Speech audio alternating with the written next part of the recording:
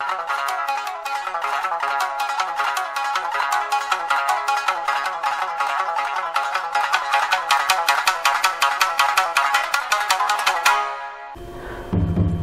is up, my ninjas? Dart Frog Ninja here. It's Friday, so we all know what that means. It's time for another episode of The Dart Discussion, brought to you by. Yeah, nobody. Today, guys, we're going to talk about quarantine tanks. Unfortunately, my frogs did not arrive. I won't be getting them until Tuesday. There was a little bit of a snafu with uh, the shipper, um, but he's been in contact with me, assuring me everything's going to be okay. I trust him. He's a really great guy. Um, I'll talk more about him and his companies that he that he operates uh, when I get the box, because there will be an unboxing video on Tuesday, and then I'll see if I can get releasing them into the quarantine tank. But anyways, back on subject. Today we're going to talk about quarantine tanks. What is a quarantine tank? Why would you ever need one? When would you need one? And basically, how to set up a quarantine tank. There's different ver versions of it depending on why you need the quarantine tank. Um, so we'll go into that, but uh, and I'll go into what version mine is.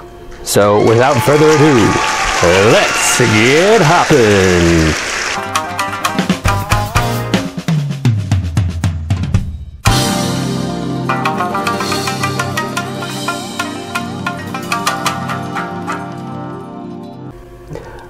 Alright my ninjas, so this here is a quarantine tank. Now what is a quarantine tank you might ask? Well, a quarantine tank is a separate tank that you would set up for uh, various reasons. One, it could be for a sick animal, whether you're receiving a new animal or one of your frogs is appears ill.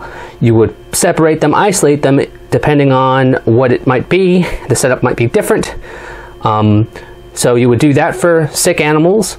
Uh, if you're receiving new animals that are sick or possibly sick, let's say wild caught, um, and you aren't sure if they're treated, again, you would put them in a quarantine isolation tank and then you would seek further uh, treatment options, whether it's contacting a vet, doing fecal samples, or if you're experienced with it, you can treat it with Panacur. Um, and I, I, can't remember what the other medicine is, but it depends. You would want to get, I think, a professional opinion on that. So don't just go doing something because you think uh, you think it might be something because it could turn out it might not be, and you can end up killing your frogs if you treat it with the wrong medicine.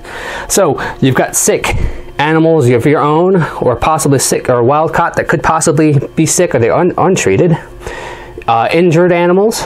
Again, you might set up might be different for an injured animal. So if you have an injured, you received injured frogs, or you're one of your inhabitants is injured, you would remove them, isolate them, make sure you can see if you can get them better.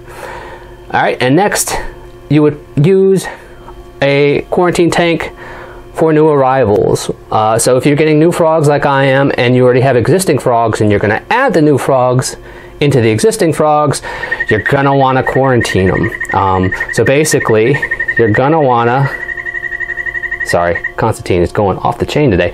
Um, you're want to build a quarantine tank and you're want to quarantine them, make sure they eat, um, and basically you make sure that they're doing okay as far as they don't have any illnesses, they don't look like they have any kind of parasites, they're not bringing anything into your uh, existing tank that would hurt your frogs.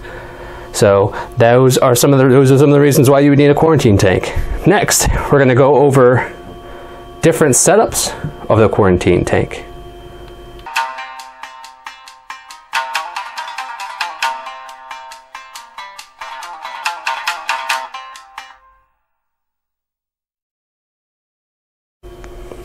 Okay, my ninjas, so what you see here, this is a quarantine tank. This is for new arrivals. Now, you're going to want to do something basic like I have. I just have um, a basic dart frog setup. I didn't even have to go this advanced, but I do have a, a small drainage layer, a substrate divider, a little bit of ABG mix, some sphagnum moss, I got some leaf litter, I have oak, uh, magnolia, I put a pothos clipping from a pothos plant that I've been growing in my house for years that's got no chemicals, nothing in it. Just took a clipping, planted it. It looks like it'll be, it doesn't look the greatest right now, but it will perk up. It'll be fine because pothos survive.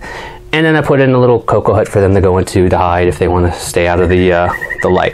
But this is a perfect example for a new arrivals.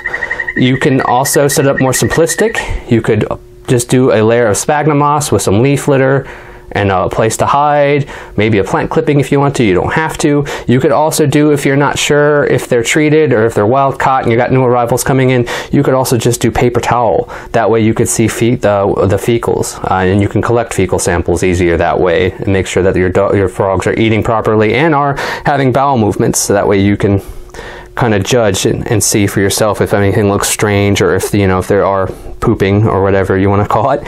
Uh, make sure that they're healthy. So uh, you could do it just a set of paper towels. You will have to change them a little bit more frequently. I did it this way because i know where my frogs are coming from.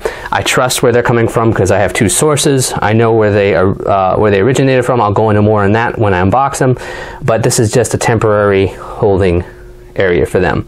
Now basically with the quarantine tank you can uh, you want it to be away from your animals. You don't want to cross contaminate. So whatever I touch, this isn't super far away from my biopod because I don't have room right now, but I will make sure not to, to cross contaminate and touch anything um, that goes in this tank and bring it to my biopod. So uh, be careful with that. You don't want to cross contaminate. If you have the space, you can create your own room for quarantine room or a side of the room where it's just quarantine animals, so it's away from everything. But this is the best I could do. And again, these frogs, I'm not worried about them being sick. Um, but we'll see. You can you just got to be sure. Now, another reason for the quarantine tanks, you might want to wonder how long are you supposed to quarantine the frogs? Now, typically a month is what you want to do um, for new arrivals, uh, whether it be wild caught um, or whatnot for frogs that you're going to add to an existing setup with other frogs. Um, so I'm going to do 30 days and I will document it each week. You'll see videos with the new frogs and we'll see how they're doing. Um, and I'll give you updates. But 30 days, but you can do longer than that. You can do two months, you can do 60 days, you can do 90 days, you can do half a year if you're really worried about it. Um, but it really depends. If the, frog, if the frog's sick, It'll probably be longer, maybe. Um, and I definitely recommend seeking uh, veterinaries, uh, veterinarians' uh, advice if your frog is sick. Don't just try administering stuff with if you're not sure about it, because that's a good way to kill um, your frogs. But uh, 30 days is what I'm going to do here, and I'm going to monitor them. I'm going to feed them on the normal schedule, like I feed my two frogs now. I'm really excited to get them in. It's very hard to find two, uh, one, at least one adult Terribilis. So I found two females to throw in there with him so you give him a little harem. He's been calling every day. It is the rainy season uh, down where they live in Colombia. April is the rainy season, so I think he's been he's been calling every day multiple times a day for five minutes, 10 minute periods. He is a little camera shy, but you heard him for in the first segments, he was calling nonstop. So there you go. But this is a your basic quarantine setup for new arrivals. Again, you can do simplistic stuff depending on, you know, if you're going to collect fecals, if they're sick and you just want to monitor them or, uh, or whatever. But this is a good, cheap little setup right here just for um, just for monitoring them. Like I said, I will give you video updates weekly. So that's basically what it is, and I actually went over when you need them as well.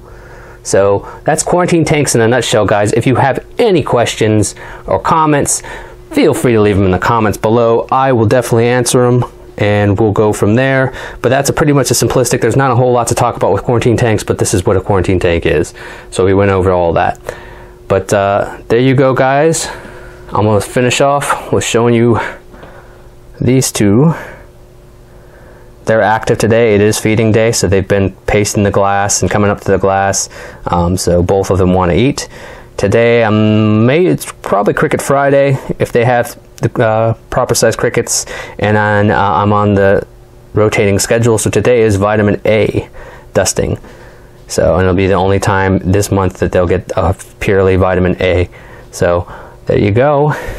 And then I believe it'll be a, another monthly update for the Biopod next week as well, so you'll have that video to look forward to.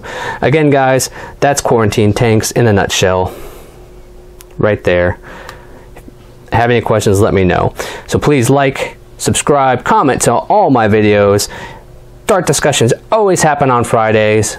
Um, if you want to see a particular subject covered, ask me or you know ask me about it and I'll see if I can do a dart discussion or any kind of separate video about it um, and we'll go from there. So there you go guys. This is Dart Frog Ninja saying frog on